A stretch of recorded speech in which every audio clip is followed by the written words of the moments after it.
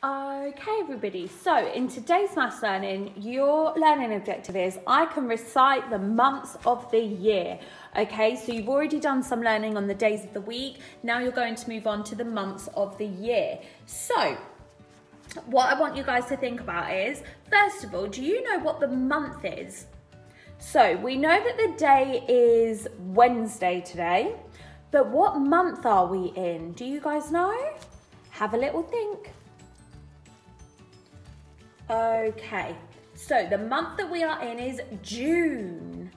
Do you recognise that word? Do you know what the months are? Let me do some teaching to show you, okay? So today, guys, we're going to be learning about the months of the year.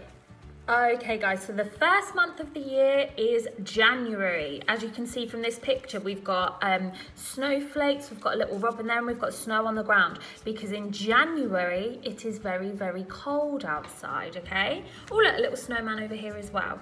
So it's very cold in January and that's when the new year starts. So the first month of the year is January.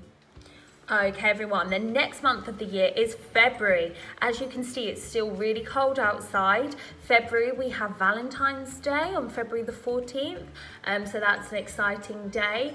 And that is still near the beginning of the year. February is also really interesting as it's the shortest month of the year. Okay, so the next month is February. Okay guys, and the next month that we've got is March. It begins with a mm. And as you can see from the picture, things start to get a little bit warmer during March. You see all of the lambs that are out and about and the daffodils are starting to bloom. So this is the very beginning. Can you think of what season we're at the beginning at if we start going into March? But as you can see, it really starts to warm up. Okay, then the next month we have is April. Okay, so in April, as you can see, we've still got the little lambs out and the daffodils are blooming and it gets much warmer during April. You have your school holidays in April and normally the weather is quite lovely. Um, so you get to go out and do lots of lovely things. You get to bike ride, go for walks, go and play at the park. We're really out of winter by now, so the weather is much, much warmer. Okay, then the next month is May. By the time we get to May, it's still getting much warmer during May, you mostly have some really hot days. Uh, we have a bank holiday in May called May Day, which is so exciting. Um, and you usually get to spend this outside because the weather is already getting so much nicer. And then we're into June, and June is the month that we're currently in. And as you can see, she's got her book, she's doing some sunbathing at the beach with an ice cream. Um, and although we can't go to the beach yet, there have been some very, very lovely days. So whether you can enjoy this from being outside on a walk, or whether you just enjoy this from looking outside to the garden, either way, the weather is getting much, much nicer. I mean, we are in England, so there will still be some rainy days all through, but we're really, really edging on summer now in June. Okay, then we move on to July. Um, tricky to tell the difference because they both begin with a J sound, but after June comes July, and in July, you guys break up for your summer holidays. Um, you get some really, really hot days in July. We spend a lot of times outside at school. It's where we would usually do sports day, go on our school trip, um, all of those wonderful things. It's a really, really happy time because the weather just makes it so much easier to be outside, and we love to be outside, don't we? So July. Okay, then the next month we have is August.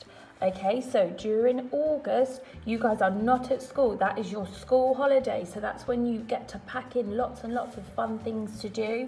Um, you might even go on a holiday if you're really lucky. But August is um, the summer and the weather is beautiful mostly and you get to go out and just do a lot more by not um, been booked at school week, okay? Okay, then we get to September. So as you can see, the background here has changed.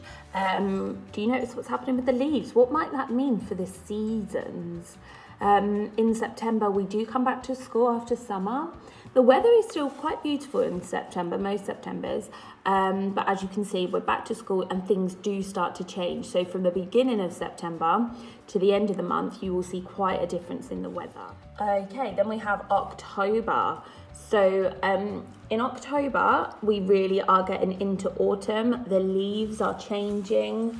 Um, they're fall, it's starting to fall off the trees and it is getting much colder. You might not need a coat in September for some of it, but by October you will definitely need your coat. And then we get to November. So November, I know, is my birthday month. My birthday is the 21st of November. Do you know your birthday month? So in November, it gets much, much, much colder and we do start to prepare for Christmas. Advent then starts. Then we have December and December is the last month of the year. As you can see from the background, it's got snowflakes and snowmen and snow on the ground. It's very, very cold in December. You will need your coats, your hats, your gloves, your scarves, and it is the same month of Christmas. So it is Jesus's birthday in December. That is December 25th. Okay, guys, so you have two tasks to complete today in our lesson. So the first task that I would like you to do is to make up a song for the months of the year. So, you know how we had the Days of the Week song that we found on YouTube? That was so fun.